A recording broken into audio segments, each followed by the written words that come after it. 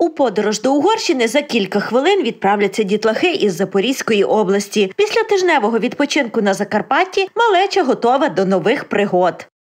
Очікуємо усього хорошого, але навіть не знаємо, що буде. Їдемо в Угорщину, місто Мішкольц. Були вже там. Ні. Ну мені здається, що там було дуже гарно, гарні гори, напевно. А так будемо дивитись. Я хочу там покупатися і, і віддохнути. Ще не разу не був. Хочу отримати гарні відчуття та помилуватися гарними краєвидами. Е, історичні цінності країни та все інше.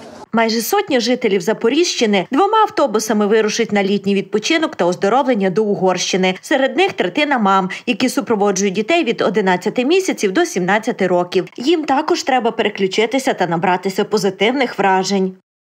Дуже добре, тому що дітям в даний час потрібно відпочинок, е, потрібно нові враження. Е, Спочатку коронавірус, а потім вже війна. І в даний час ми загубили, ну не загубили, ми втратили батька.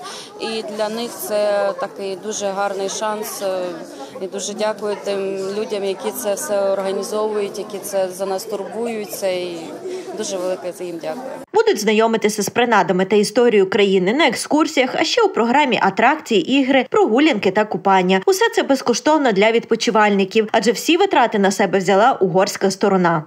Відсьогодні Угорщина чекає на дітей із зони бойових дій із Запорізької області. Два тижні тому до нас звернувся губернатор Закарпаття Віктор Микита. Чи можемо прийняти дітей на оздоровлення в Угорщину? Уряд Угорщини прийняв рішення за 24 години. У найкоротший термін було розроблено двотижневу активну програму для дітей та їх матерів.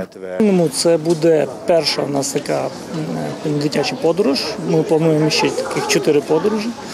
Е, Плануємо оздоровити близько 400 дітей і саме з угорської сторони.